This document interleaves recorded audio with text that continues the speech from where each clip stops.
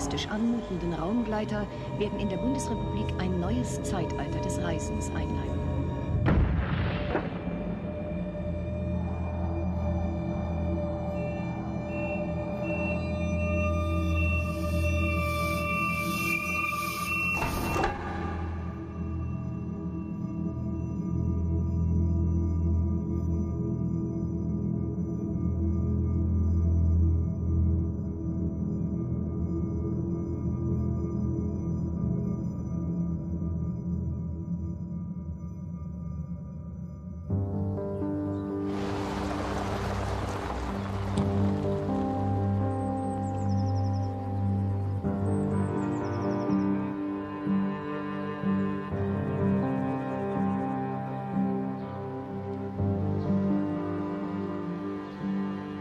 Musste natürlich jetzt sehr früh äh, auf den Weg.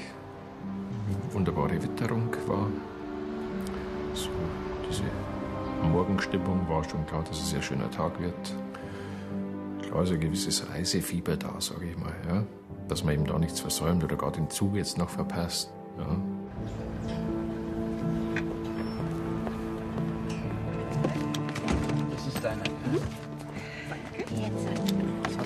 Da alles dabei? Kommst du recht ohne uns, Papa? Ja, freilich. Gut. Pass mal auf unser Kleine auf. Wo steigt sie um? In Nürnberg, ab da geht's schneller. Hm.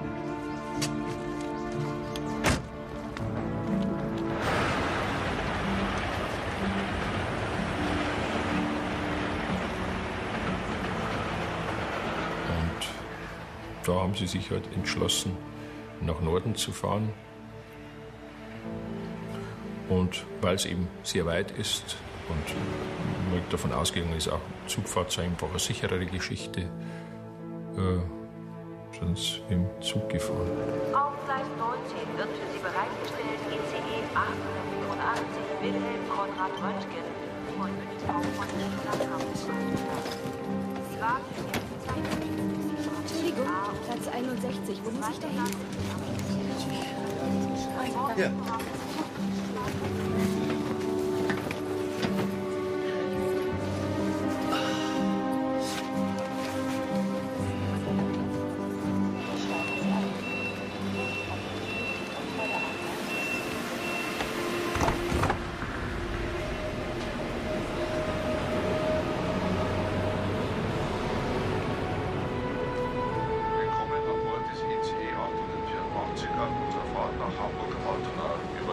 Frau war also leidenschaftliche Bahnfahrerin und sobald sie hier saß, da begann bei ihr der Urlaub.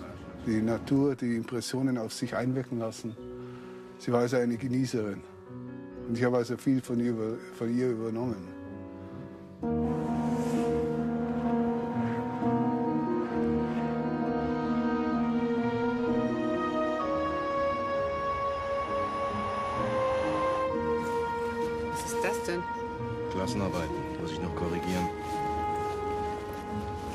Magst Danke.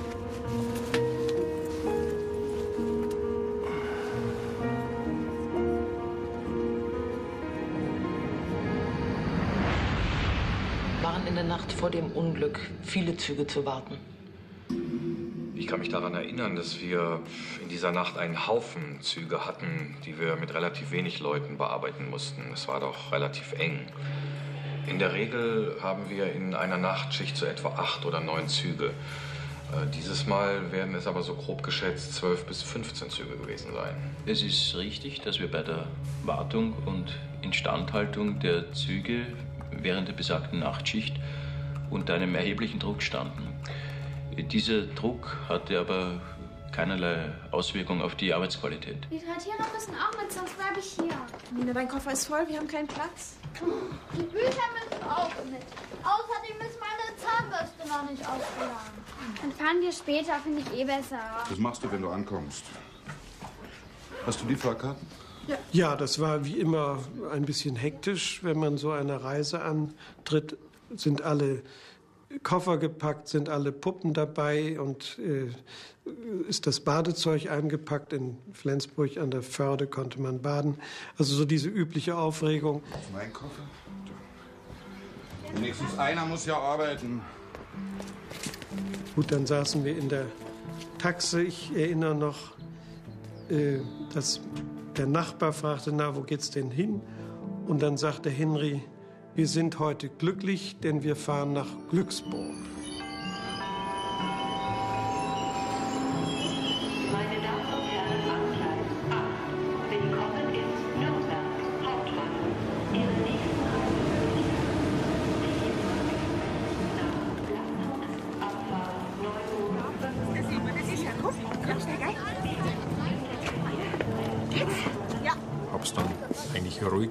Lassen, weil es war noch relativ früh. Ein bisschen Zeitung gelesen, gefrühstückt, dann die Wildtrut versorgt. Was heißt also? Waschen, umziehen, wickeln, füttern. Christoph, gib mir mal ein Handtuch für deine Schwester, komm. Christoph hatte Ferien. Es gibt ja da in Bayern äh, 14 Tage Pfingstferien. Der Christoph war auch zu Hause. Gibt's Frühstück? Ja, später nachher.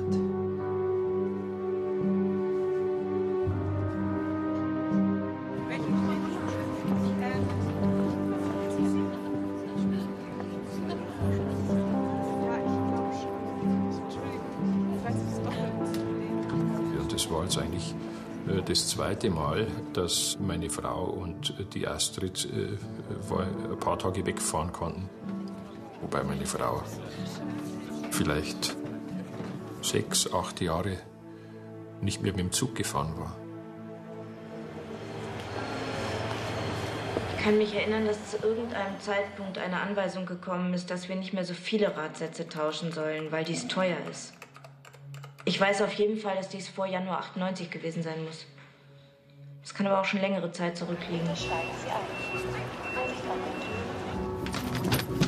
Entschuldigung, Entschuldigung. Ja, jetzt gehst du rein ans Fenster. Ihr ans Fenster. Wisst ihr, du ans Fenster. Na, komm. Wir begrüßen den zu Fahrgäste im ICE Wilhelm. Und wie sie den Zug dann gesehen hatte, da kamen dann die ersten Zweifel aus und hatte, hatte sie dann gefragt gehabt, wie schnell der Zug denn fährt. Und habe ich ihr das dann gesagt gehabt, wie schnell der fährt. Und dann rümpfte sie das erste Mal die Nase und äh, Gibt's hier keine Gurte? was denn für Gurte? Ich kann sie nicht finden. Na Gurte halt, wie in deinem Auto. Hat sie gesagt, wo lassen wir das Gepäck denn? Dann habe ich ihr gezeigt, wo wir das Gepäck lassen. Und dann war die nächste Frage, denn Und, und die, wie sichert man die?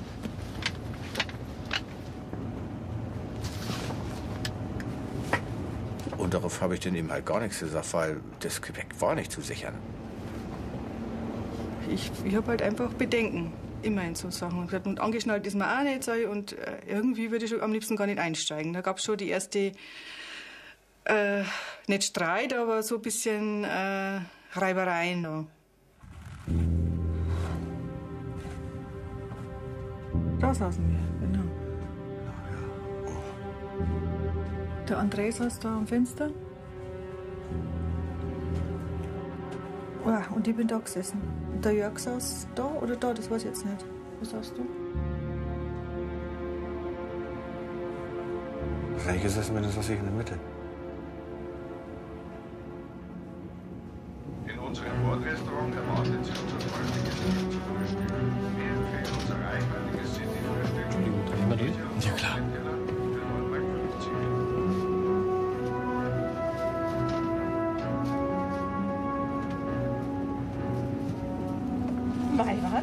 Du. Also schön sind die neuen Wagen schon, gell? Eng. Aber sonst das Fett ist schon prima. Guten Tag. Fahrscheine bitte. Mhm. Können wir damit zwei Tage in Hamburg halt machen? Ja, das ist kein Problem. Super. Klappt ja alles.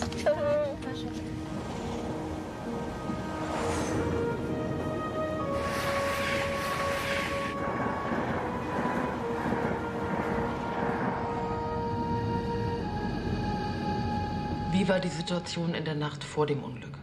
Die hier erreichte Anzahl von Rädern mit Grenzwertüberschreitungen hätte in einer Nachtschicht keinesfalls getauscht werden können. Dafür war die Standzeit der Züge zu kurz. Wenn man alle Räder getauscht hätte, wäre der gesamte ICE-Betrieb von München zum Stillstand gekommen. Das hätte sich kein Disponent erlauben können.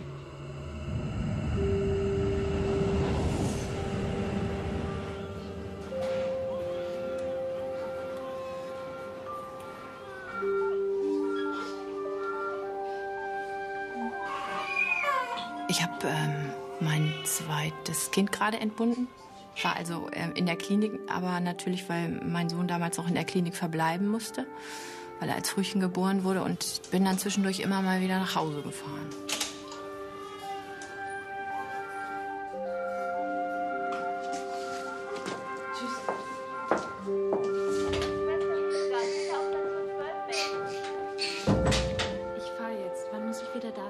Fünf Stunden. Lassen Sie sich Zeit. Die waren alle nicht da. Kind Schule, Mann bei der Arbeit. Hab ich gesehen, ja. Sogar mit Himmelbett. Wann hast du das denn gemacht? Ich muss so gegen eins in der Klinik sein. Hm?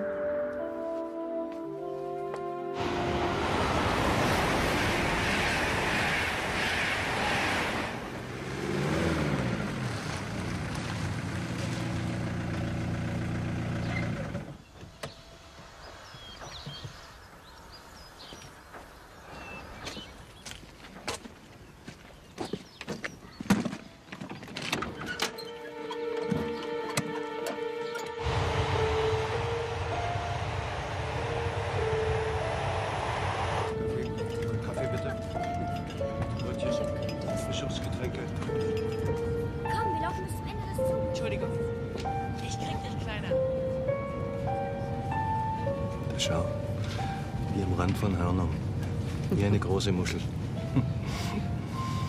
Was die Wolken alles erzählen. Braucht bloß hinschauen. Da vorne ein Seepferdchen. Da hinten der Watzmann. Eiger, die Dolomiten. Es war ein sehr warmer Tag und sehr schöne Wolkenschiffe, möchte ich sagen, und habe also sehr viel über die Stimmung hier erzählt. Ich habe selten so viel erzählt wie an diesem Tag.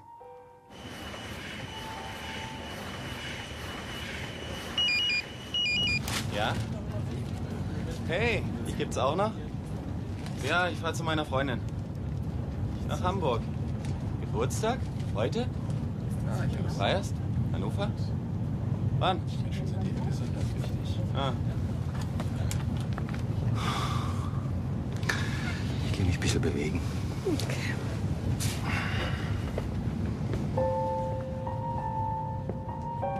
Wir hatten reserviert. Ich hatte immer reserviert, wenn eine Frau dabei war. Die mu- musste wissen, wohin sie gehört. Also das waren diese zwei Plätze. Fensterplatz von meiner Frau und das war mein Platz.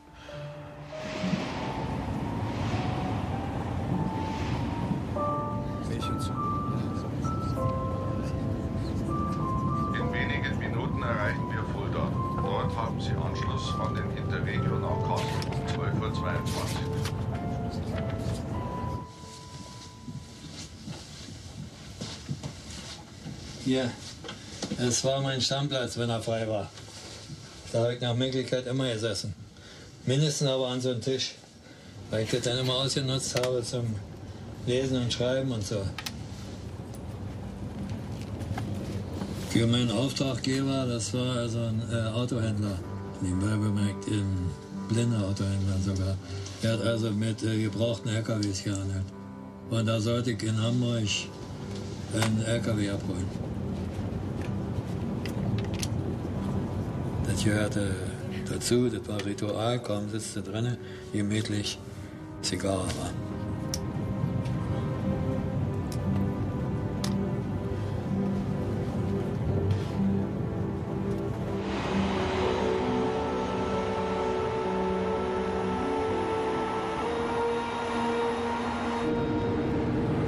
Das war so, dass ich äh, einen wichtigen Termin hatte, der schon länger feststand. Und dann haben wir uns eben morgens an dem Bahnhof getrennt. Ich fuhr Richtung Köln und Sie fuhren Richtung Flensburg.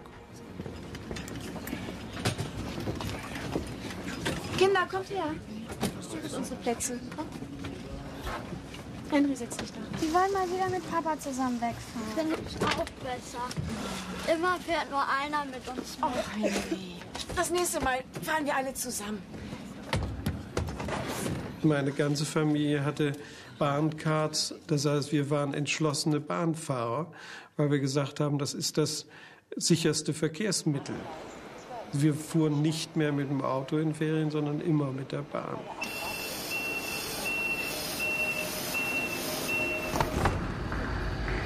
Natürlich hatte die Wartung dieser überdurchschnittlich vielen Züge Konsequenzen. So hatten wir einfach weniger Zeit für jeden einzelnen Zug. Wir mussten zügig alles abarbeiten und hatten zwischendurch kaum Pausen. Die Züge mussten ja schließlich raus. Es war nicht das Problem der Überlastung, sondern das war das Problem der mangelnden Kenntnis. Sie hatten von dieser neuen Bauart, äh, nämlich dieser gummigefederten Re äh, Radreifen, im Grunde keine Ahnung. Das Problem war, vorher liefen nur Vollräder. Und Vollräder, wenn sie Unrundheiten zeigten, äh, ließen sich relativ schnell überprüfen, woran es lag. Hier war die Besonderheit, dass wir davon ausgehen müssen, dass der Bruch sich aus einem langsam fortschreitenden Riss entwickelt hat. Das Problem, was sich dann stellte, ist, dass die äh, Mitarbeiter vor Ort von solchen Anrissen keine Ahnung hatten. Danach wurde auch überhaupt nicht geprüft. Es ist immer schon gesagt worden, dass sich Unrundheiten auf den Komfort beziehen und keine Bedeutung für die Sicherheit haben. Grenzwertüberschreitungen habe ich jedenfalls für die Zeit vor dem ICE-Unglück nicht als sicherheitsrelevant angesehen. Sie konnten sich nicht mal vorstellen, dass es so etwas geben konnte. Das heißt, die gucken sich das Rad an, prüfen das wie ein Vollrad und finden nichts. Ich habe mir damals jedenfalls nicht vorstellen können, dass ein Zug wegen Unrundheiten entgleisen könnte.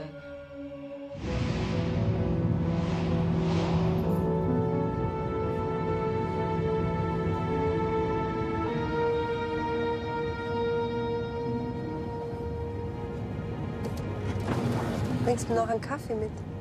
Milch und Zucker? Wie lange sind wir zusammen?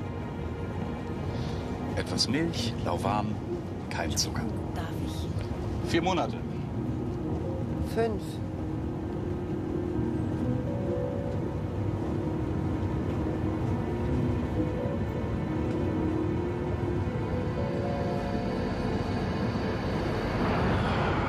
Einige Zeit war ich selber Fahrgast in einem ICE aus dem Ruhrgebiet Richtung Hannover und merkte dann, als der Zug hinter dem Verlassen des Ruhrgebiets beschleunigte, dass in dem Wagen, in dem ich saß, eine erhebliche Schwingung auftrat. Alles stürmte in die benachbarten Wagen rein, suchte sich dort einen Sitzplatz, weil es fast also bis zum Brechreiz führte, wie dieser Wagen vibrierte.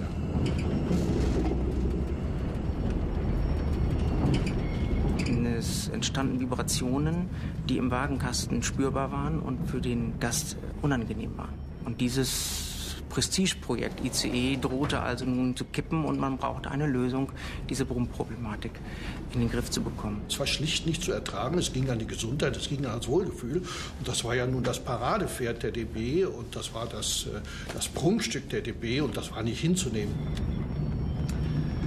Bei meiner letzten Fahrt von Stuttgart nach Frankfurt-Main am 27.09.91 saß ich im Bistroraum des Speisewagens.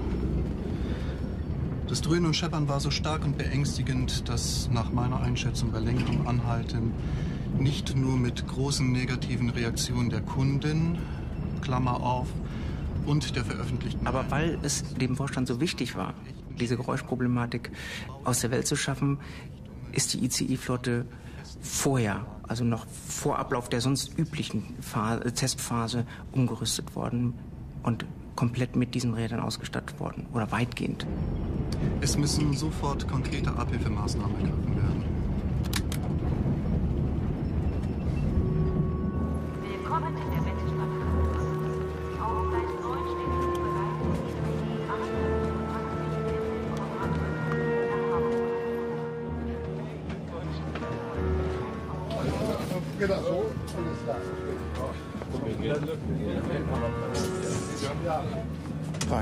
Besetzt und dann sind wir hier gesessen. Hier ich und hier mein Kollege.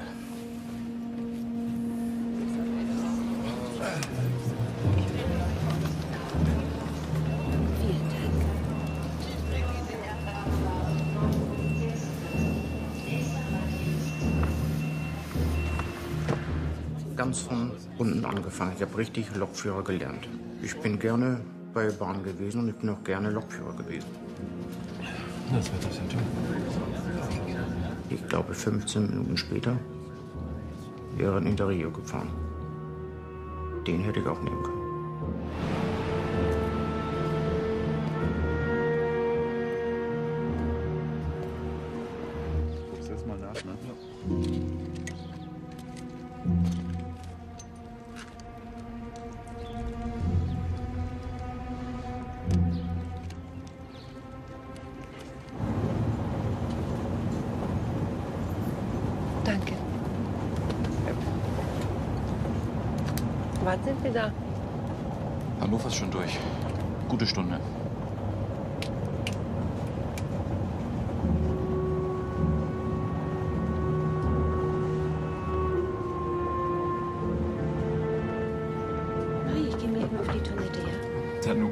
Dass sie also auf die Toilette gehen wollte und dann halt anscheinend gleich wieder zurückkommen wollte. Also bis dieses Unglück passiert ist, ist sie nicht zurückgekommen.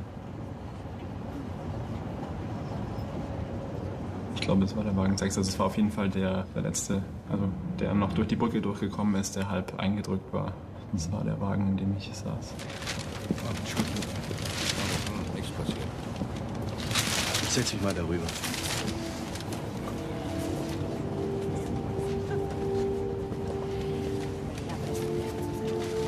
Also ich habe den Platz eingenommen bis Hannover, da ist er ein bisschen lichter geworden und habe mich also dann diametral zwei Meter hinter sie gesetzt, um meine Beine auszustrecken.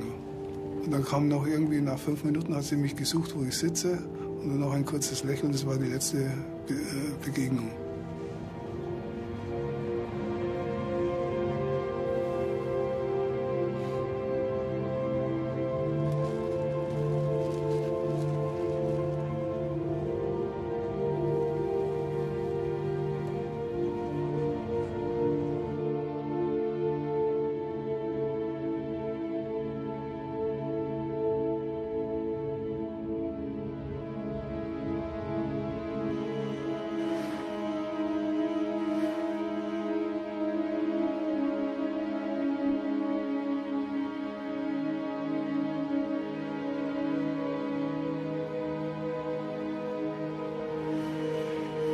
Diesem Tag ist auch dieser Radreifen auffällig gewesen, dass äh, er unrund ist. Und diese Unrundheiten hat man in den Werken in Hamburg und in München als Fehlmessung interpretiert und hat gesagt, das stimmt was nicht.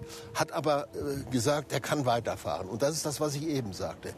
Dass man es möglich gemacht hat, dass er weiterfahren darf, das ist der Fehler im System gewesen.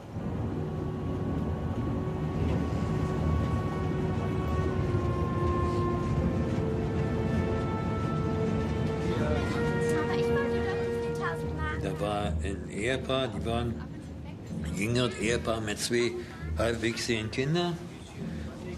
Und da dachte ich noch, mein Gott, äh, die müssen nur hier mit ihren Kindern in den Raucherabteil gehen. Aber manche äh, nehmen ja darauf keine Rücksicht. Du bist dran. Die Schlossallee ist meine. Du hast jetzt schon wieder die Straße, die ich haben wollte.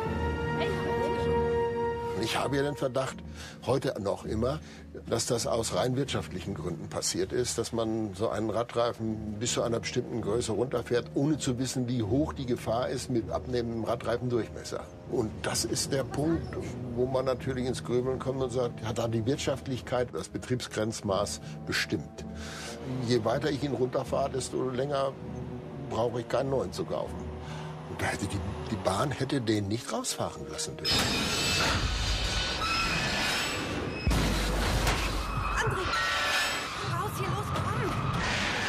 Knall, der war ein Schock. Wir wussten nicht, was los war. Ich habe nur gesehen, dass da der Fußboden aufgerissen war. Und äh, das ist, heißt gar nichts Gutes. Und dann war das, als ob eine Bombe einschlagen würde und dir den, den Boden unter den Füßen wegreißt. Ist aber komisch, oder?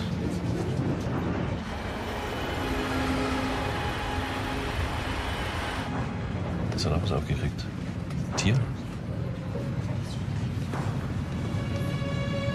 Also wenn ich, wenn ich jetzt hier in den Gang rauslaufe, pff, ich sehe nicht, ich sehe nur grün, aber ich sehe keine, nicht irgendwie, dass es großartig gekennzeichnet wäre, hallo, hier ist, eine, hier ist eine Notbremse. Aber ich sehe, wo?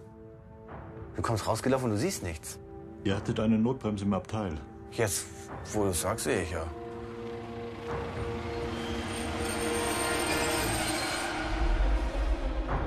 Das ist eigentlich die Sache, die mich, die mich heute noch quält und, und wo aber jeder zu mir gesagt hat, äh, auch in psychologischen Gesprächen, dass, das, äh, dass mich da keine Schuld trifft. Also das ist eine Sache, die mich immer noch beschäftigt.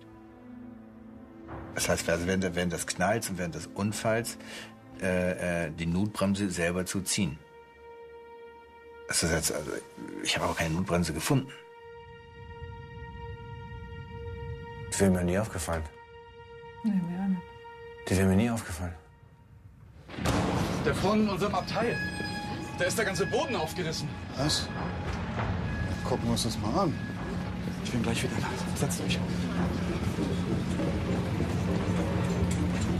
Der fuhr ja unvermindert volle Lotte, 200 Sachen. Man hat den Eindruck, der wird immer schneller. Fuhr der Zug weiter, ja. Naja, dann hast du gedacht, mein Gott, was kann das? Ja, aber scheißegal.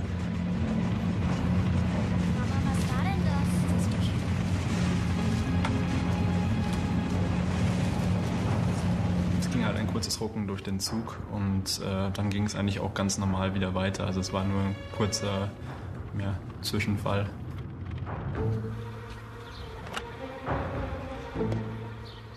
Die Gleisarbeiter haben wir erst am nächsten Tag bzw. Tage später gefunden. Deren Leichen waren mit einem Drehgestell hier unten unterhalb der Brücke aufzufinden. In mehreren Meter Tiefen.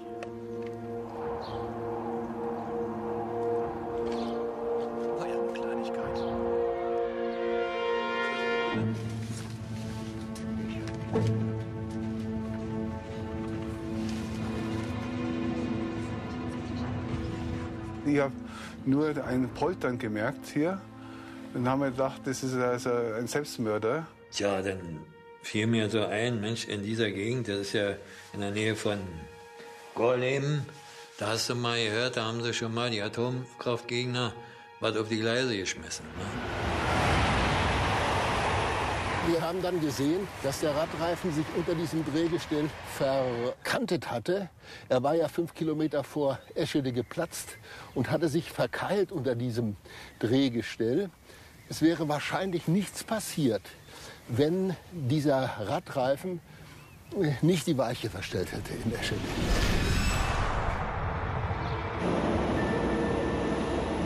Dadurch, dass der Wagen jetzt natürlich sehr stark, ähm, ich sag mal, vibriert hat in seinem Gleis, ist es dazu gekommen, dass das Drehgestell unten hier gegengefahren ist. Dadurch ist diese Weichenzunge hier abgerissen und es kam zu einem Umstellvorgang. Jetzt ist die Weiche auf Abknickfahrt eingestellt. Und ab hier begannen jetzt die Wagen zu entgleisen und rauszulaufen auf das Nebengleis.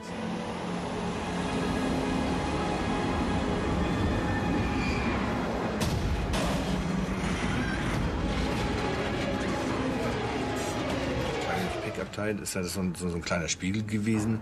Da habe ich dann reingeguckt und habe mich dann gesehen, habe dann nur gesagt, oh ja, das war's. Also mehr Glück hast du nicht.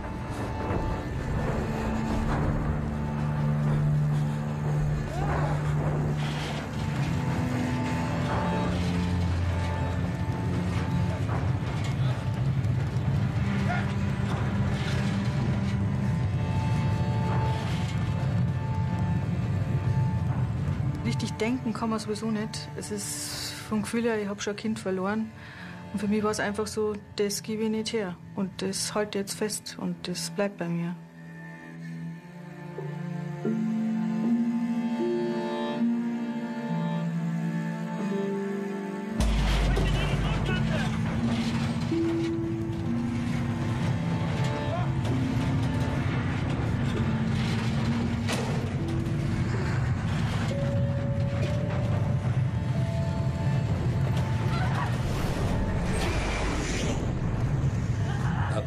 Automatisch, ja, wie, man jetzt so wahrscheinlich macht, zusammengekrampft, an dem, krampfhaft an dem Tisch festgehalten, zusammengekrochen in mich hinein.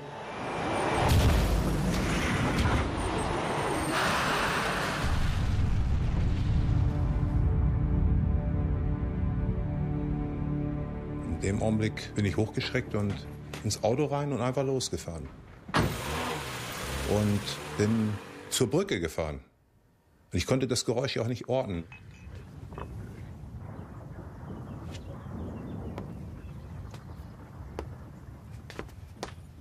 Dann war Ruhe. Da war es total still.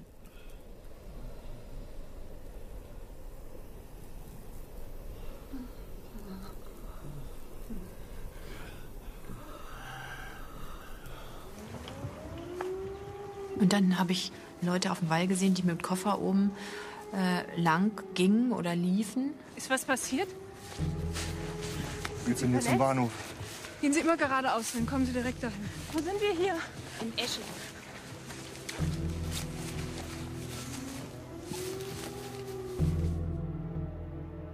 Der Betonpfeiler, der erste, hat ungefähr hier aufgetroffen und hat dann den Zug regelrecht wie ein Messer aufgeschnitten. Der Wagen 3 reißt also die Brücke ein. Reißt die Brücke ein, sie schwebt noch einen Augenblick. Dadurch ist der Wagen 4 noch relativ unbeschädigt drunter durchgekommen. Er entgleist und rollt hier in die Böschung. Aber Wagen Nummer 5 kriegt dann oben das komplette Gewicht der Brücke ab, wird in der Mitte total zerdrückt. Die Einzelteile haben sich verteilt. Und ab Wagen 6 und die folgenden verhalten sich dann wie ein Zollstock unmittelbar vor der Brücke auf.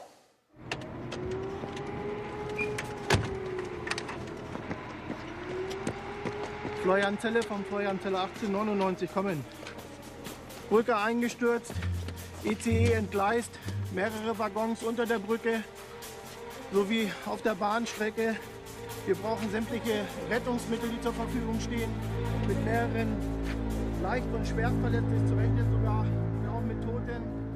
Der absolute Wahnsinn. Und der erste Gedanke war bei mir, vielleicht irgendwie eine Übung, Feuerwehrübung oder sowas, weil es war keine Menschenseele da. Es war kein Krach, kein gar nichts. Es war eine Totenstille.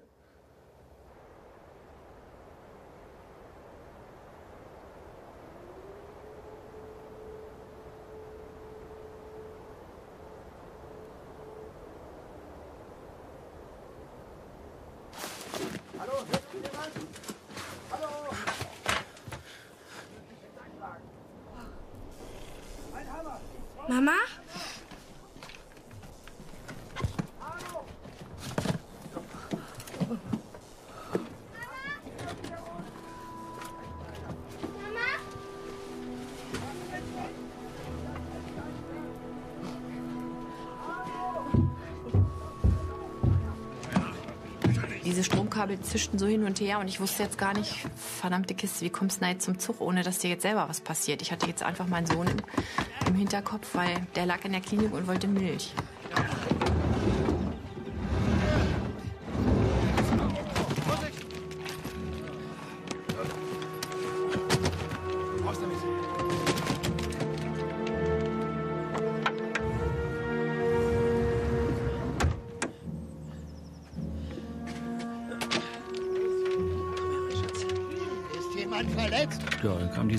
Zwei oder drei Waggons.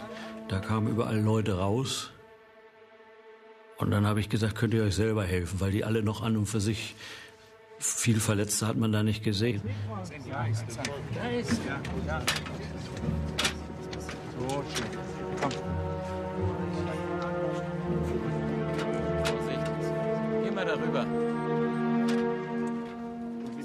Das waren Frauen, das waren Männer, das war also unterschiedlich eigentlich. Eigentlich die Person, die da eigentlich gestanden ist, habe ich versucht anzusprechen. Ich weiß ja nicht, ob von der anderen Seite noch irgendwie, äh, äh, weil es ja mehrgleisig gewesen ist, dass von der anderen Seite vielleicht zu dem Zeitpunkt dann auch noch ein Zug angeschättert kommt. Kommen Sie zu uns. Ja, ich bin's. Der Zug ist entgleist. Das nächste war anrufen. Meine Frau angerufen. Wo sind wir denn hier? Eschede. Eschede. Schau mal auf die Karte. Als nächstes telefoniere ich mit meinem Auftraggeber. Wird nichts mehr, Hamburg ist out. Hier ist ein großer Zugunglück passiert. Das war's dann. Ist da noch jemand? Hier vorne nicht. Da waren so viele Koffer. Vorsicht, raus damit. Die haben einfach rausgeschmissen und, und, und dass man irgendwie da was hatte, wo man drauf treten konnte. Ne? Und dann haben wir dann die Leute, die noch einigermaßen, die bloß mit dem Arm oder mit dem Bein so ein bisschen was hatten, äh, die haben wir dann über diese Rutsche raus. Das müssen vielleicht vier, fünf Leute gewesen sein. Man hatte auch nicht mehr dieses oben oder unten. Es war alles durcheinander geflogen, dass man überall gucken müsste, wo lag wer zwischen. oder drauf oder drunter, dass man, also irgendwo, wo man hintrat, auch keinen zusätzlich noch Verletzte.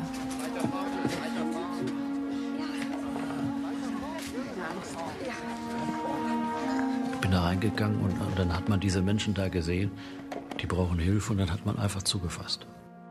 Ich glaube, ich glaube, das Denken schaltet man in dem Moment aus. Kann man den anfassen, kann man den nicht anfassen oder was?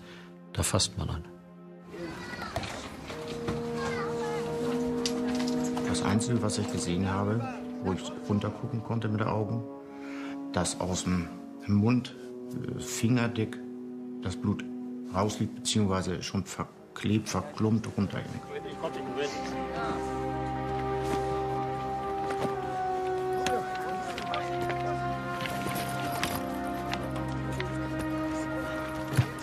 Dass alles kaputt war. Der ganze Kiefer, das? Trümmerbruch und äh, Gelenkkopf und was alles kaputt war. Das habe ich da auch nicht gemerkt. Ich konnte nur eben nicht laut reden. Ich konnte nur so ganz leise rumflüstern. Hören Sie mich. Können Sie mich hören?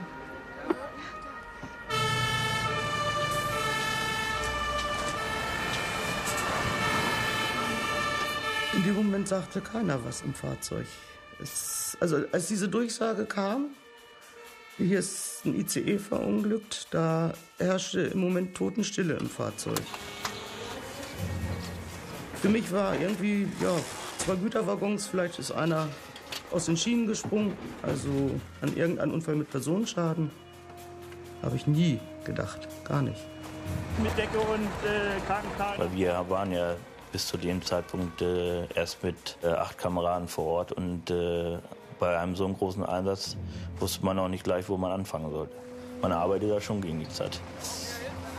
Es liefen oben auf der Brücke liefen Menschen rum, die waren natürlich sehr verstört. Äh, man hat sie angesprochen und dann kam, wie gesagt, ja auch Hilfe aus äh, den Nachbarfeuerwehren. Es kam Hilfe von den Anwohnern und die haben sich dann schon um diese Leute gekümmert.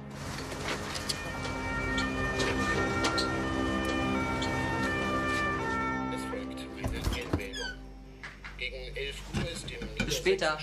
Wie spät wird's bei dir? Der Zug war gegen 6 Uhr in München gestartet. Über den genauen Hergang des Unfalls ist noch nichts bekannt. Es Die erste Information, die mir erinnerlich ist, das war wahrscheinlich schon um Viertel nach elf. Äh, es hätte irgendwo einen Eisenbahnunfall gegeben, aber da, weitere Informationen gab es da nicht.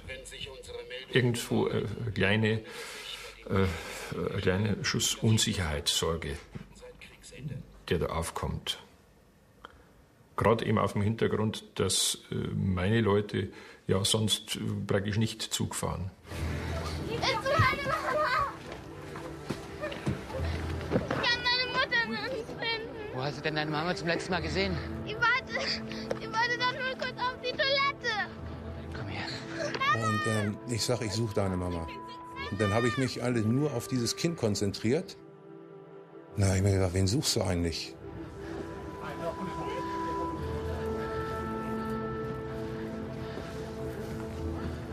Und dann bin ich ganz nach hinten durch und dann war alles offen.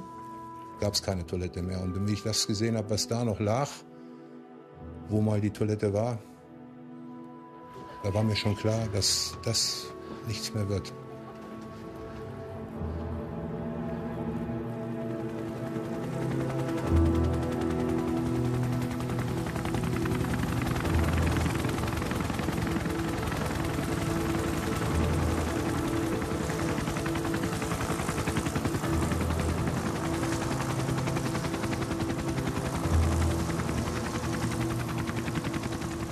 Ist das sicherste Verkehrsmittel. Das sagt aber nichts darüber aus, dass nicht trotzdem Katastrophen passieren. Das können wir nicht verhindern. Deutschland hat seine Katastrophe gehabt.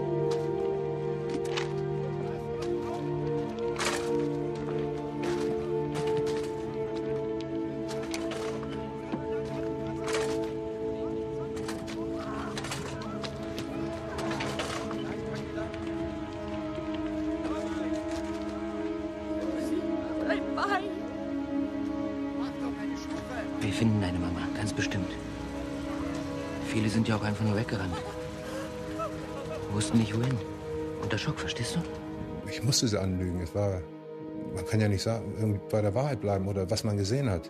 Vielleicht hat auch schon jemand sie gefunden. Bei mir. Und bleib bitte hier. Bei den anderen Leuten sage ich, ich komme gleich wieder. Ich möchte gucken, ob auf der anderen Seite auch noch Leute sind.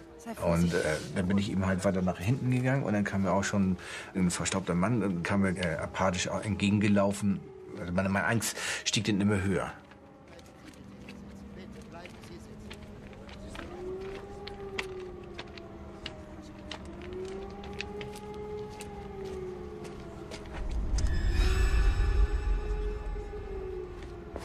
Ist so ein, ein Körperteil. Ist ein Bein. Ist ein Bein aus der, aus der Scheibe raus. Und das hat mir einen Schlag gegeben. Lass uns gehen. Was ist? Dann können wir Ihren Angehörigen mitteilen, Weg. Es wird sich gleich jemand um Sie kümmern.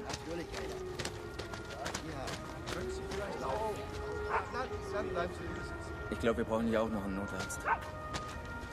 Für mich war halt klar, das willst du sehen, was ist da los? Ja? Die drei Waggons hier, das ist ja nicht der ganze Zug. Wo ist der Rest des Zuges? Das wollte ich sehen.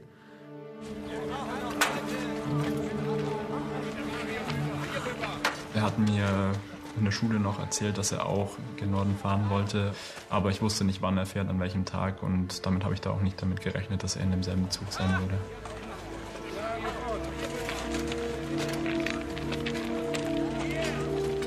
Da spricht mir ein junger Bursche an, also ein Schüler von mir. Und wir wussten also voneinander nichts. Dass also wir beide denselben Zug nehmen. Rauschmann? Ralf, was, was machen Sie hier? Ich will in die Ferien. Ist ja alles in Ordnung?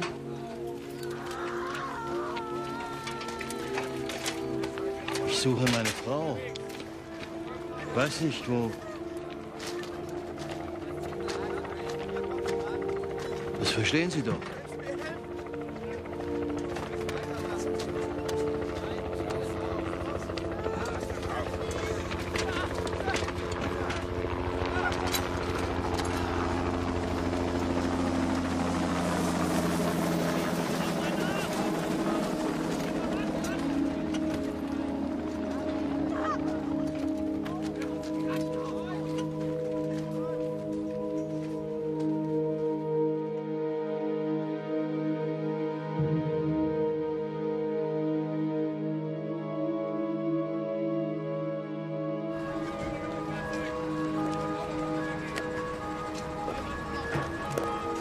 Wir kamen auch an die Unfallstelle und erlebten eine katastrophale Situation. Diese schreienden, wehklagenden Menschen mit abgerissenen Armen, Beinen zu sehen, die noch lebten, das war für mich etwas Neues. Und das ging mir auch durch Mark und Bein. Man steht hilflos da daneben und kann nicht helfen. Spürt, wie die Leute leiden.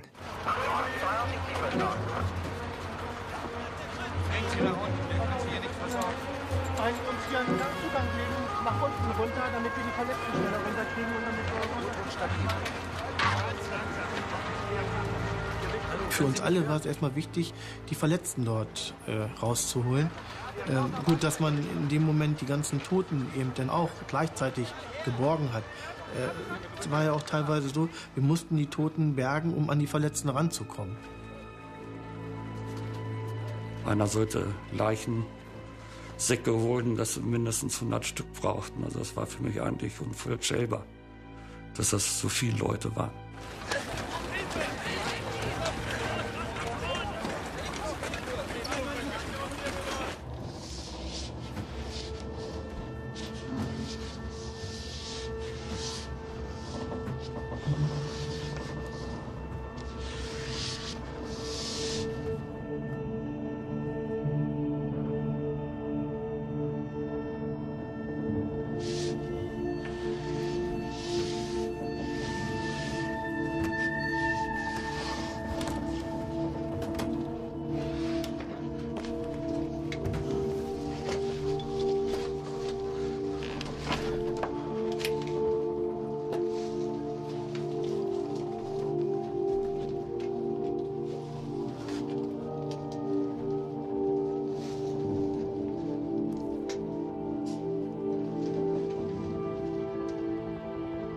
Lag auf meiner Seite.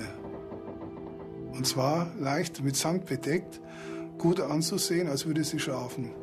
Also am Kopf hat sie im Hinterkopf eine Verletzung, die habe ich nicht gesehen. Und die linke Hand war ab, die habe ich auch nicht gesehen. Sie war also leicht eingebettet in dieses Erdreich.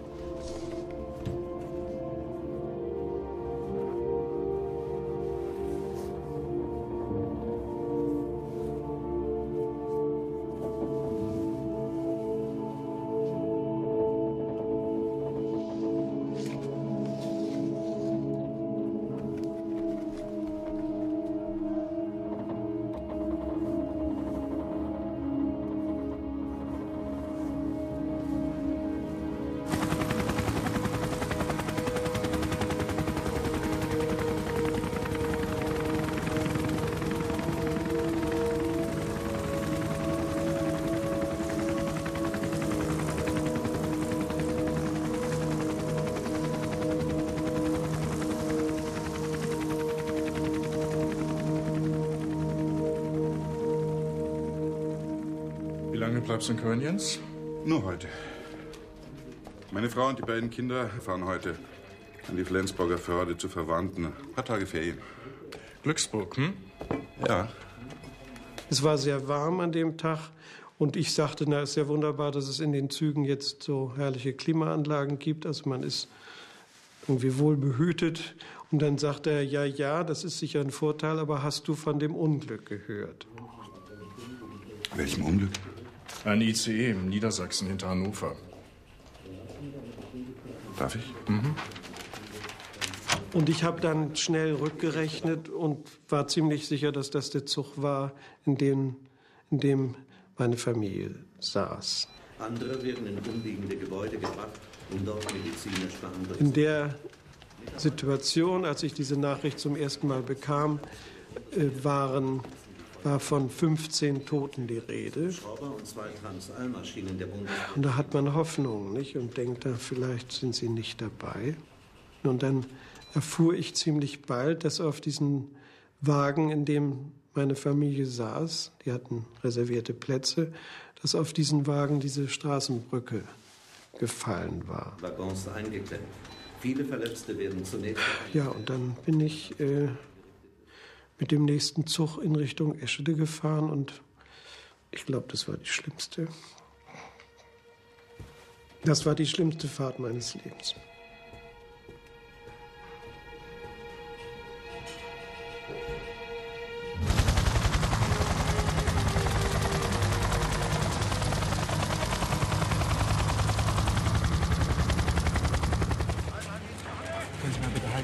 Müssen in Tobias 18 Uhr Thomas. Wo schicken wir den hin? Hannover, Celle oder Hamburg? Und ich habe versucht, da auf meine linke Brusttasche zu zeigen. Da waren meine ganzen Papiere drauf. Und da habe ich dann noch mit versucht, Hamburg zu sagen. Entscheide selber. Wir schicken ihn nach Hamburg.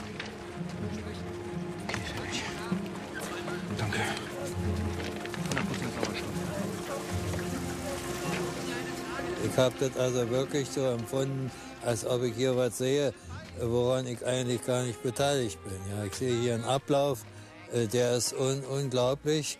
Ich bin Beobachter dieser ganzen Szenerie und bewege mich hier nun automatisch dadurch, ohne irgendwie eine eigene Drehung oder was zu haben.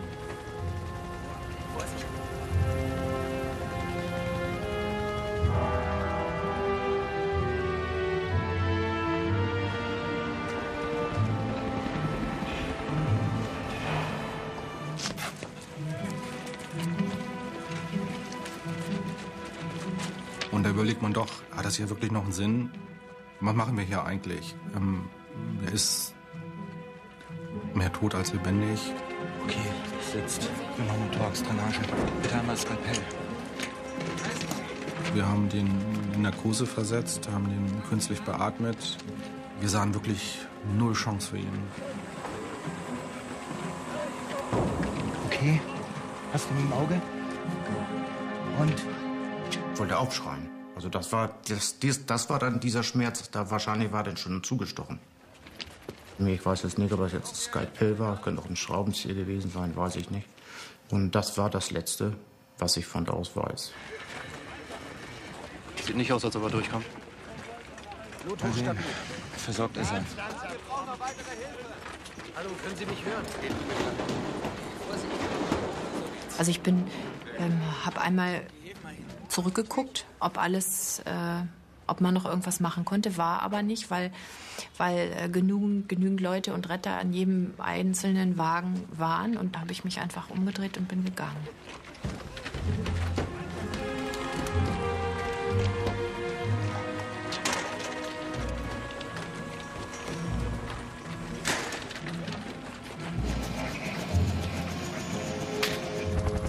Dann bin ich erst 17 Tage später wieder da gewesen oder dass ich jemand, meine Frau oder die Kinder äh, wieder erkennen konnte.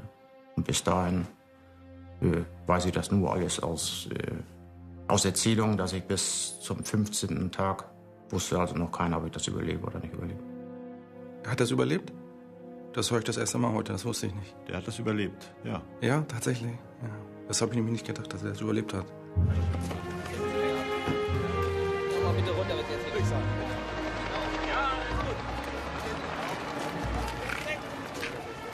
Also jeder hat sein Bestes gegeben, jeder wollte Leben retten. Jeder wollte eben seinen Teil dazu beitragen, um lebende Personen eben aus diesen Frontfighten zurückzuholen. Die Trage hierher.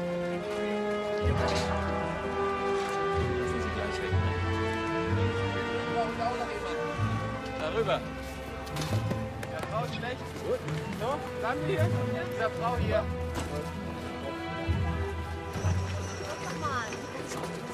Versorgt und stabil.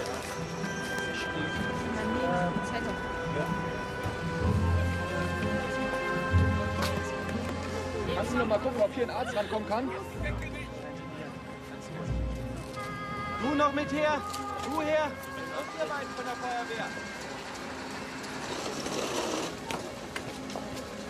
Wir haben nach einem Schotterbett haben wir noch eine Frau rausgeholt und dann erstmal unter den Baum gelegt.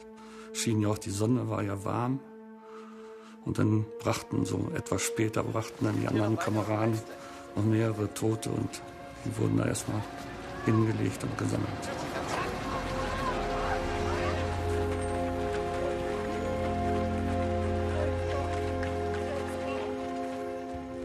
Hallo? Kommen Sie bitte zu uns.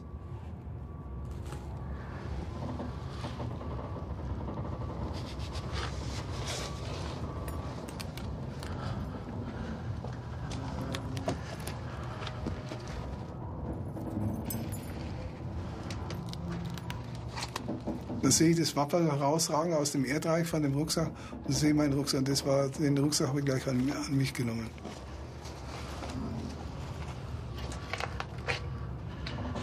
Eine Schulaufgabe von einer 10. Klasse, die ich also noch vor Pfingsten geschrieben habe. Die musste ich korrigieren.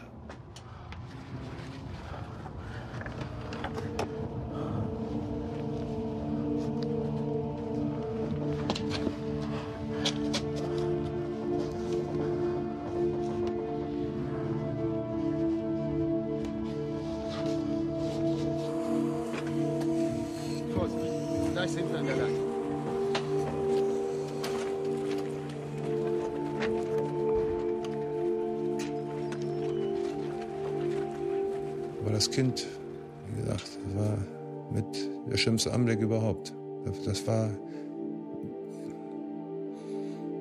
wie eine ausgestopfte Puppe. Da war nichts mehr dran. Sie konnten nichts mehr erkennen. Keine Nase, keine Ohren, kein gar nichts mehr. Ich darf es gar nicht erzählen. Ich habe sie wieder zugedeckt. Ich habe die Steine alle wieder so rangelegt.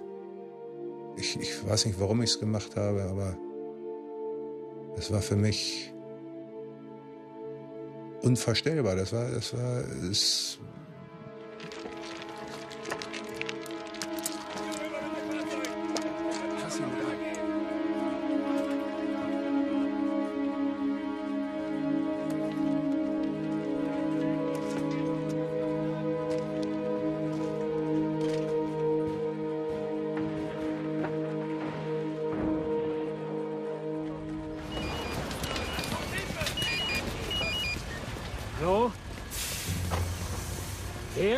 plötzlich überraschenderweise mein Telefon, mein Handy.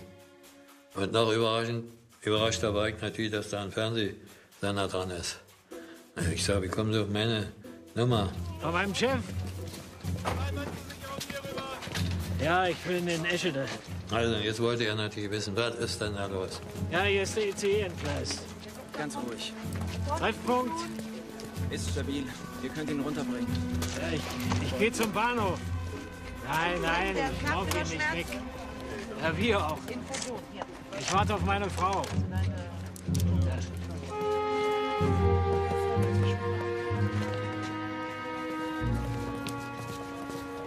Der mich da kommen sah, der hat mich angesprochen. Können wir helfen? Brauchen Sie Hilfe? Ja, nee, danke, ist lieb, aber ich bin davon gekommen. Jetzt nicht passiert. Ne? Ja, totale Chaos.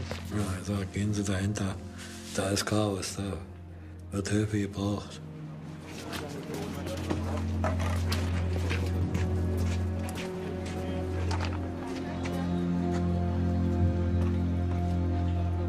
Wie groß ist die Wahrscheinlichkeit, dass sich die Zahl der Toten über die bisher vermuteten 25 hinaus noch dramatisch erhöht? Also heute Morgen um halb zwölf hieß es acht Tote. Mittlerweile sind es 25 oder 30. Es sollen noch 200 Verletzte dort sein. Ich schätze, die Chance ist, oder die Gefahr ist sehr groß. Erst hieß es da äh, einige Verletzte, dann äh, Verletzte und einige Tote und dann hieß es 30 Tote würde es geben. Sind die Reste äh, einer Brücke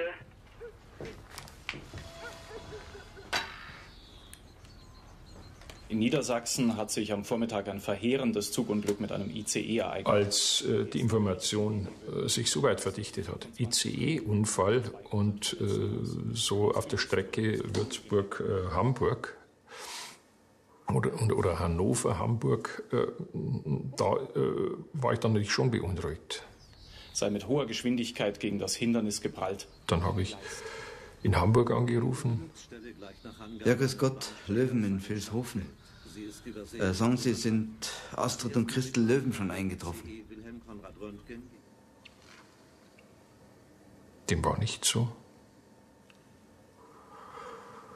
Ja. Die hinteren sind auf etwa 50 Meter Länge ineinander verkeilt. Das Brückenfundament ist total zerstört. Die Unglücksursache ist noch unklar. Sicher ist, dass ein Auto unter einem der Waggons liegt. Diese Bilder äh, vergisst man ja nicht. Dass äh, das ein grauenhafter Unfall ist, wo man mit sehr vielen Toten rechnen muss. Es war jetzt nur für mich noch die Frage, ist es jetzt dieser Zug, in dem die beiden gefahren sind, oder ist es nicht? Wie ein Sprecher des Stabes mitteilte, sind zahlreiche Menschen noch in den Waggons eingeklemmt. Viele Verletzte werden zunächst auf einem Feld, auf dem ein Lazarett eingerichtet ist, notdürftig versorgt. Andere werden in umliegende Gebäude gebracht, um dort medizinisch behandelt zu werden. Und? Ich heiße Marie. Marie Busch. Komm mal her. Marie Busch. Und wem suchst du? Wir sind nur gerannt. Wie gesagt, Matten von unten geholt, Matten von hier geholt, alles eingerichtet. Ja, wir haben nach einer gewissen Zeit überlegt, wir brauchen ja Infusionsständer. Und da fiel mir dann ein, ja, Kartenständer, das ist es doch.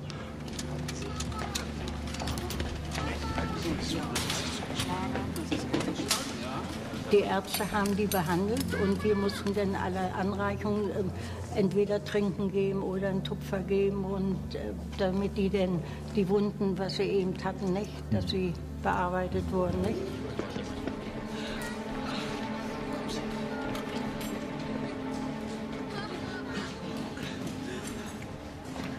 Es war eine Schwester da, die kann mich noch erinnern, die hieß Rosa und die hat meine Hand genommen und mich beruhigt. Die hat nichts gesagt, nur die Hand genommen.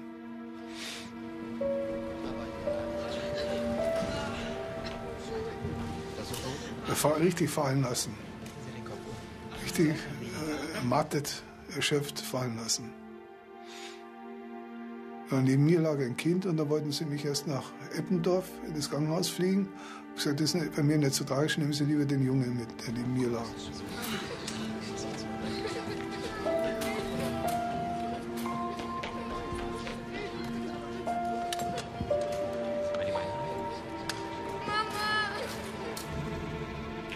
Für die Angehörigen der Reisenden des verunglückten ICE hat die Bundesbahn Telefonnummern eingerichtet. Es sind Nummern in Hamburg, Hannover und München. Für Hamburg ist es die Vorwahl 040 19 419. Dann war eigentlich äh, schon klar, dass in Eschede das Chaos herrscht, weil auch äh, die Überlegung natürlich da ist, dann einfach an den Unfallort zu fahren. Aber ich habe da drin keinen Sinn gesehen bei der großen Entfernung, wie lange das ich brauche, bis ich da hinkomme. Außerdem äh, kann ich zu Hause nicht weg. Du, die beiden sind nicht in Hamburg angekommen. Weiß auch nicht, was passiert ist. Ein ICE ist entgleist. Wo? Irgendwo hinter Hannover.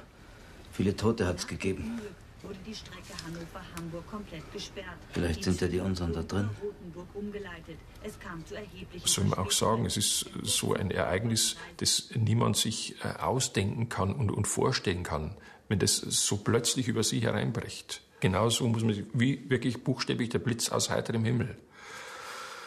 Äh, und natürlich äh, hat man die Hoffnung, sie sind bei den Verletzten oder bei den äh, vielleicht Unverletzten.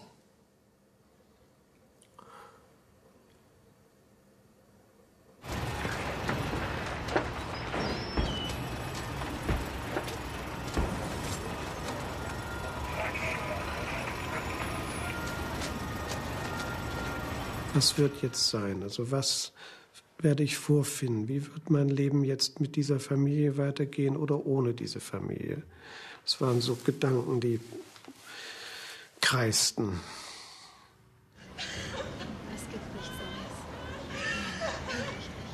Aber ich musste aus der Halle raus. Ich konnte es nicht mit anhören. Von dem, also ein Geschrei von den Angehörigen. Es lief mir kalt runter. Die Tränen liefen. Ich bin raus. Was für mich am schrecklichsten war, war in der Angehörigenhalle äh, am nächsten Morgen. Da war es ganz, da bin ich rein, wie ich hatte eine Einquartierung, da bin ich da rein in die Halle, nur Schweigen.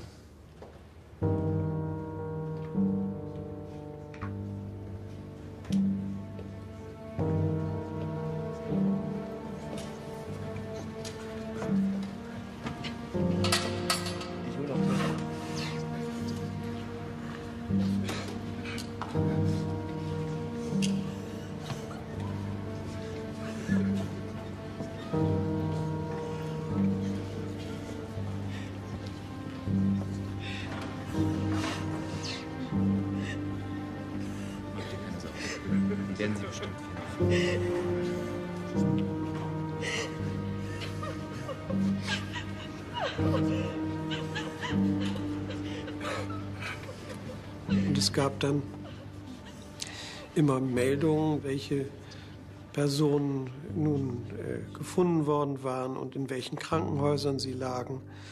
Und es kamen dann immer diese Listen, die man dann mit großer Angst und Herzklopfen studierte, um zu gucken, sind sie dabei, äh, wo sind sie, in welchem Krankenhaus sind sie.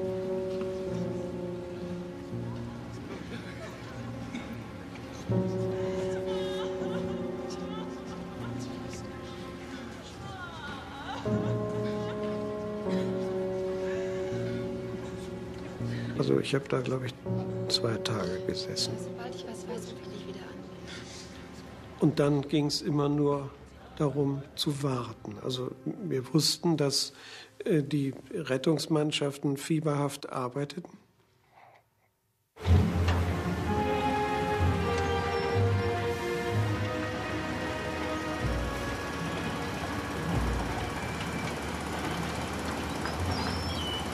Und der Druck der Bahn, der wurde doch am Anfang schon, ja, eigentlich während des ganzen Einsatzes sehr groß, eben, dass wir so schnell wie möglich zusehen sollten, dass wir äh, unsere Arbeit dort erledigen und die, erledigen und die Bahnstrecke eben frei wird, dass der Zugverkehr wieder rollen kann. Ähm, da fehlt es mir so ein Stück weit, ja, zumindest bei manchen führenden Bahnmitarbeitern an der Einsicht, dass man das zu akzeptieren hat. Und nicht in Konzernstrukturen denkt und sagt, äh, so und so ist es, das ist unsere Strecke und äh, wir sagen jetzt, wo es lang geht. Das bedurfte einer klaren und deutlichen Ansage, danach war auch Ruhe. Der Tag der schwersten Zugkatastrophe in der Geschichte der Bundesrepublik. Kurz vor dem Bahnhof dann die Katastrophe. Die Leitplanken einer Der heranraschende Zug prallt in das Auto, springt aus den Gleisen, dann bohrt sich der Triebwagen. Mindestens 100 Tote und über 200 Verletzte. Das ist die vorläufige Schreckensbilanz des schweren Ich habe Zuges. mich in ein Einzelzimmer gelegt hier und es ist natürlich schlecht in einem Einzelzimmer. Ich brauchte einen Gesprächspartner und mein Gesprächspartner war dann der Fernsehapparat. Dann habe ich das ganze Unglücksgeschehen bis tief in die Nacht mitverfolgt nochmal. Die Unglücksursache ist noch unklar. Unmittelbar am Unfallort hielten sich Gleisarbeiter auf. Sie zogen sich wegen des herannahenden ICE 884 hinter die Brückenpfeiler zurück, wo sie sich in Sicherheit wähnten. In wenigen Sekunden hat sich alles in ein Trümmerfeld verwandelt. Aus den Wracks gellen Hilfeschreie, viele können nur noch stöhnen. Wir sind äh, äh, direkt nach Büsum gefahren. Und dann haben wir den Fernseher angemacht und dann saßen wir da geschockt äh, vor dem Fernseher und haben uns das alles mal angeguckt. Hier haben nur wenige der 300 Passagiere heil überlebt. Einer, der mit dem Schrecken davonkam. Und dann haben wir gemeinsam versucht und tatsächlich haben wir eine Tür Gott sei Dank aufgekriegt. Und dann sind wir halt raus. Und ja, äh, als ich dann gesehen habe, was da los ist, äh, ich, äh, wurde mir erst mal bewusst, äh, was man für ein Glück gehabt hat. Denn alle anderen Waggons, das waren die zwei einzigen, die da halbwegs äh, glimpflich davon gekommen sind. Auf allen Sendern praktisch war ich drauf und war natürlich überrascht. Und äh, ja, und dann gingen die Telefone los. Ich war ja so unbedarft und so die, der erste Beste, der kam, und das war zufälligerweise die neue Revue, die rief an, Exklusivvertrag, 1500 Mark. Ja gut, klar, warum nicht? Nimm ich mit. Ja. Und später hätte ich wahrscheinlich viel mehr kriegen können. Ne?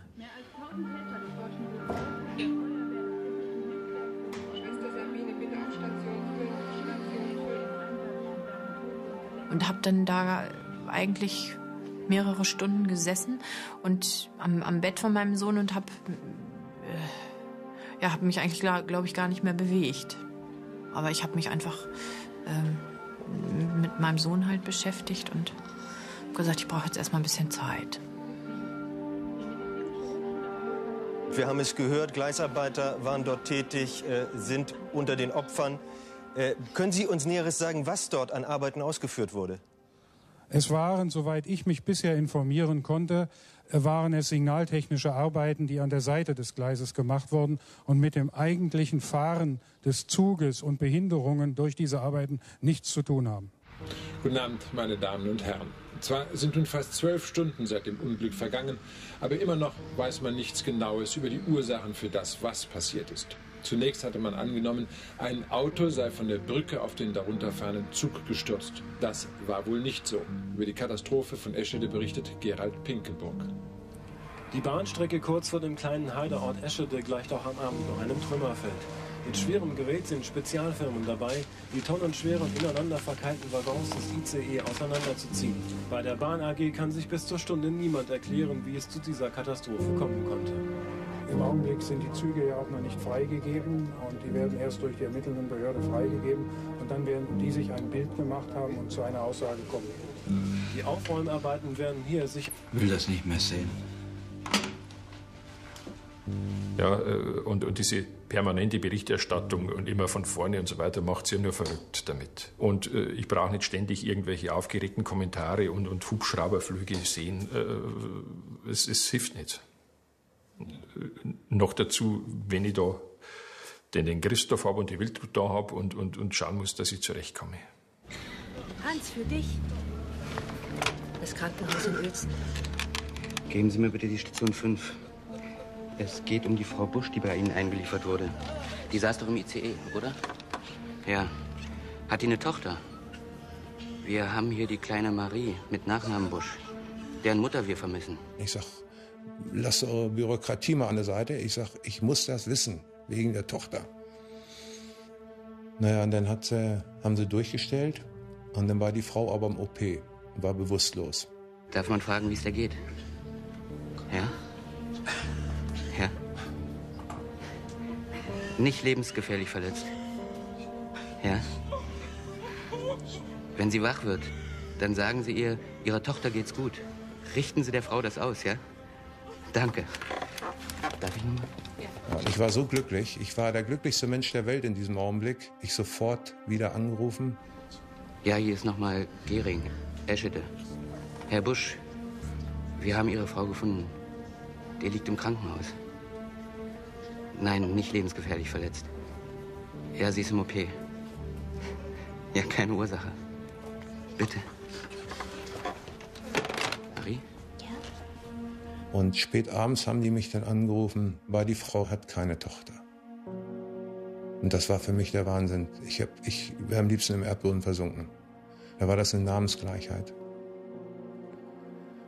Und das war für mich in dem Augenblick das Allerschlimmste, weil ich jetzt bei, im Elternhaus angerufen hatte. Ich war so glücklich. Naja, dann hat sich das sozusagen erledigt gehabt.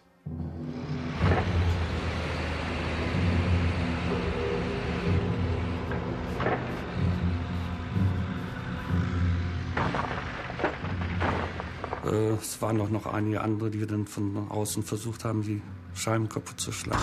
Man brauchte eine ganze Zeit und ziemlich viel Kraft, um so ein Fenster rauszukriegen.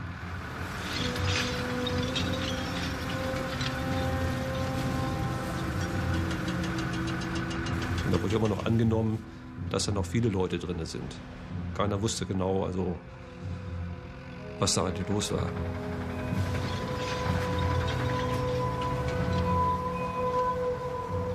Und natürlich haben wir immer noch gehofft, äh, möglicherweise gibt es irgendwo einen Hohlraum und da ist vielleicht noch jemand, dem wir helfen können, sonst wäre ja unser Dasein dort auch äh, nicht unbedingt äh, dann notwendig gewesen. Aber ähm, man hat natürlich gehofft, aber das, die Wahrscheinlichkeit, dass, dass man dort noch Überlebende ausholt, war, war sehr gering.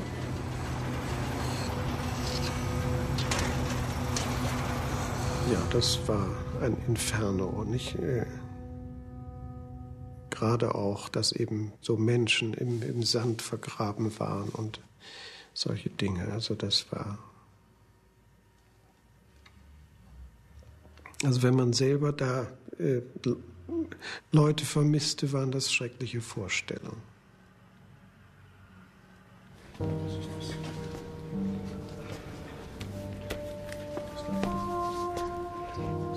kann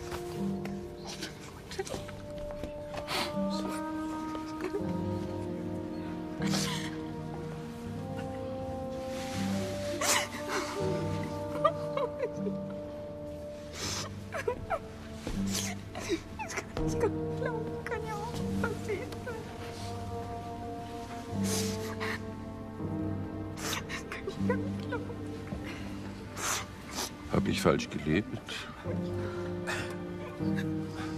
Kennen Sie die Geschichte von Hiob? Ja.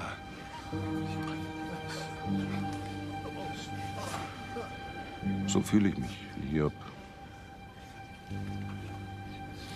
In der Hiob-Geschichte sind es ja die Freunde, die ihm sagen, das hast du davon. Nicht? Irgendwie hast du nicht gottgefällig gelebt und dann passiert sowas. Da ist der erste Gedanke, irgendwas hast du falsch gemacht. Die leben, die Kinder.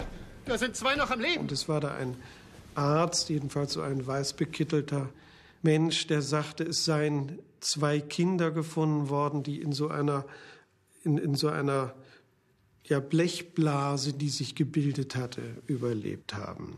Sie haben gerufen. Ich habe gehört. dann natürlich nachgefragt, wie war denn das und sind da Kinder gefunden worden? Es stellte sich dann aber heraus, dass dieser Arzt selber nicht mehr bei Sinnen war. Der war durch das, was er da erlebt hatte, so erschüttert, dass er ja durchgedreht war ne? und sich jetzt solche Hoffnungsgeschichten ausgedacht hat.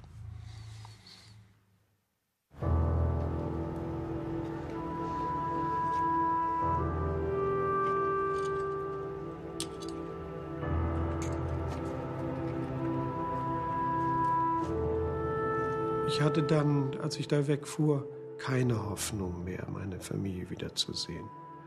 Aber ich hatte auch noch keinen äh, definitiven Beweis, dass sie nicht mehr lebten.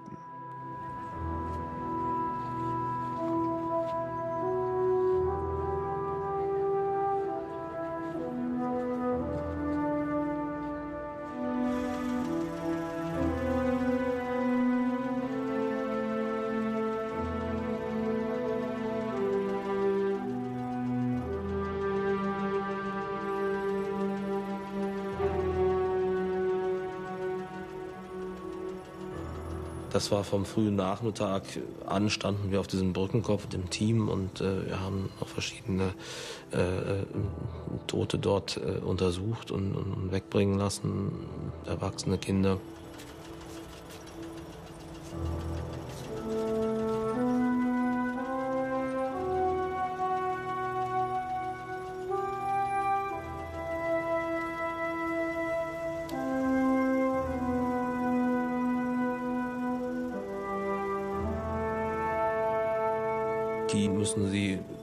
Untersuchen und den Tod feststellen. Das war bei vielen aufgrund des Verletzungsmusters natürlich ähm, auch relativ eindeutig. Es wurde ja hinterher auch viel beschrieben, dass selbst Leute, die schon in Kriegseinsätzen waren, sowas äh, eher natürlich selten zu sehen bekommen.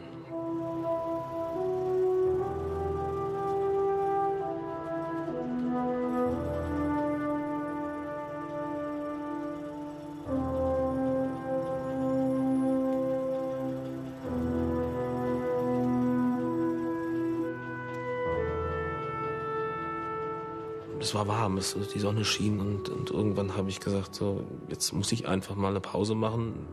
Ich kann jetzt nicht mehr, ich muss einfach jetzt mal einen Moment ganz woanders hingehen. Und da stand man dann so an diesem Bahndamm und dann waren ja auch schon einige Leichenwagen äh, vorgefahren und es stand da diese Reihe von diesen Leichenwagen. Da kam es einem das erste Mal so richtig zu Bewusstsein, ne, was das eigentlich bedeutete, wie viele Schicksale da auch hintersteckten. Da fing man dann an nachzudenken. Nicht? Und ähm,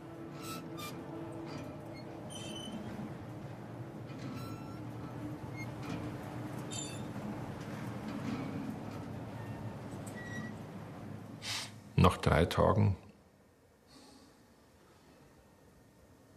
am, Samst am Samstag.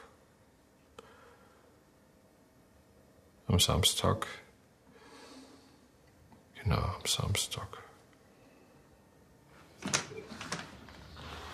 Kamen zwei Polizeibeamte mein Kollege und ich sind hergekommen und müssen einen Traum. Und äh, haben mitgeteilt, dass die, die Astrid tot ist. Es hat äh, zum Zeitpunkt, als die Astrid äh, identifiziert war, bei meiner Frau noch immer Unklarheit bestanden. Ich will den Pfarrer nicht hier haben. Sagen Sie dem irgendwie ab. Beziehungsweise halten Sie den fern. Ich will den da nicht haben. Ja, machen wir. Sehr schön. Das haben Sie mir auch zugesagt.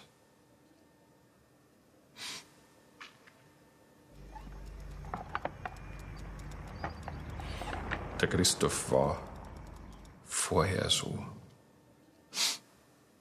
Ministrant. Ja, und äh, also auch von daher hat es also schon immer hat man ein bisschen mehr gewusst über den Herrn.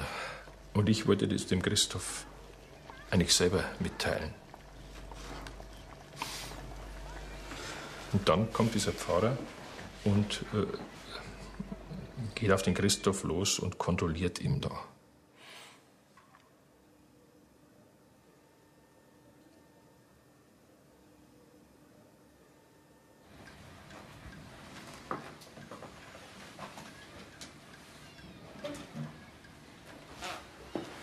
Wir mussten ja einfach Teile finden, die, wo dann auch Fingerabdrücke hängen geblieben sind, also an der Posaune des Sohnes, an der Bratsche der Nina.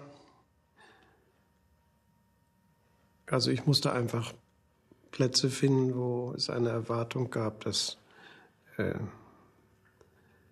dass äh, da solche Identifikationsmerkmale waren, nicht?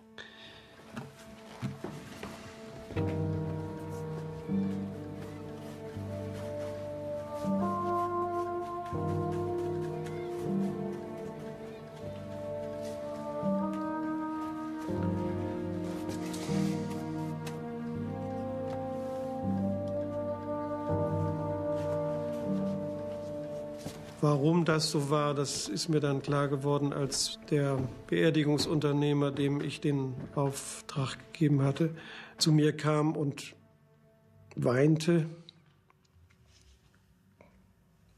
und mich dann darum bat, nicht in die, in die Sage gucken zu wollen.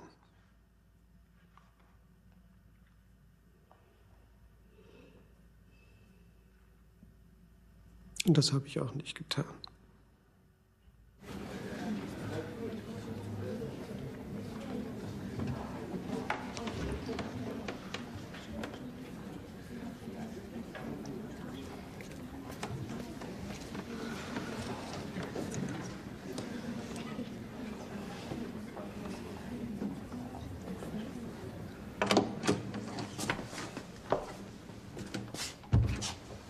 Guten Morgen.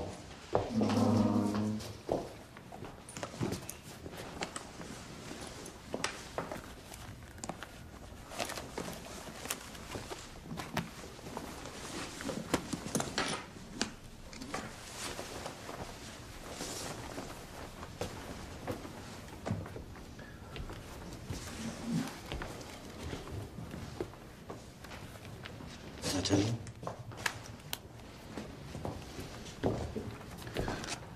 Ja.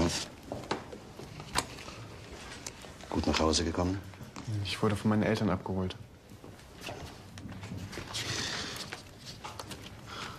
Also er war sehr, ähm, ja, sehr gefasst.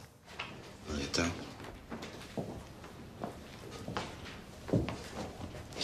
So, bin in den Unterricht reingegangen. Da war jetzt so eine Stille, dann die Schüler wussten nicht, wie sie mich nehmen sollen. Da habe ich einfach eine Viertelstunde über das Unglück erzählt und das war befreiend. Es sollte unser Urlaub werden. Wir haben auf Sylt ein Haus. Wir sind da oft. Sehr oft in den letzten Jahren. Die Berge und die See. Ja, das war unser Revier. Meine Frau,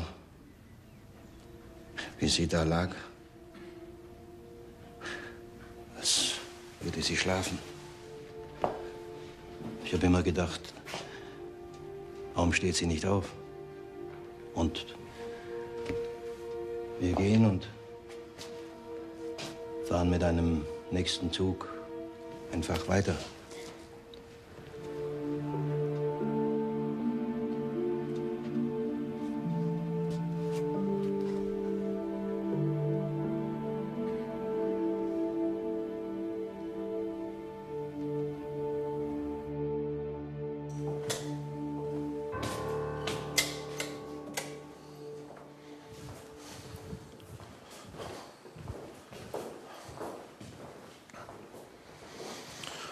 Haben wir den letzten Radreifen aus dem Eschede-Unfall. Wir haben uns extra einen damals aufbewahrt für Aus- und Fortbildungszwecke, an dem man noch mal erläutern kann, wie das damals gewesen ist. Ungefähr hier auf dieser Höhe von innen ist es zu dem Dauerbruch gekommen. Und diesen Radreifen haben die Mitarbeiter in München immer nur von außen angeschaut und nichts gesehen. Richtig. Die haben mit einer Lampe beleuchtet, haben geschaut, ob von außen irgendwelche Beschädigungen zu erkennen waren. Und mit der Ultraschallanlage, was haben Sie da sehen wollen oder was hätten Sie da erkennen können? Wenn sie denn so funktioniert hätte, wie man so eine hätte brauchen können, dann hätte man natürlich von außen hier mit dieser Ultraschallanlage auch feststellen können, ob von innen Risse gewesen wären. Das ist so zu dem Zeitpunkt damals nicht gemacht worden. Also die haben im Endeffekt mit der falschen Technik an der falschen Stelle geguckt. Das mag so gewesen sein, ja.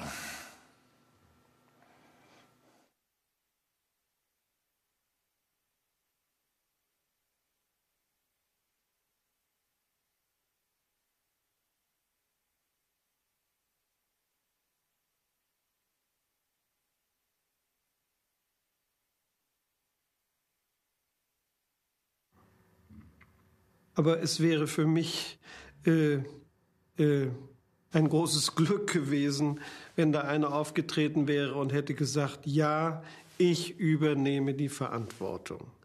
Also dieses ritterliche sich hinstellen und sagen, jawohl, äh, in meinem Verantwortungsbereich ist das passiert und ich übernehme die Verantwortung. Stattdessen haben sie hochkarätige Anwälte herangekarrt, um sicherzustellen, dass es keine Verantwortung der Bundesbahn gibt. Das fand ich fürchterlich. Aber gut, das ist so in unserer Gesellschaft.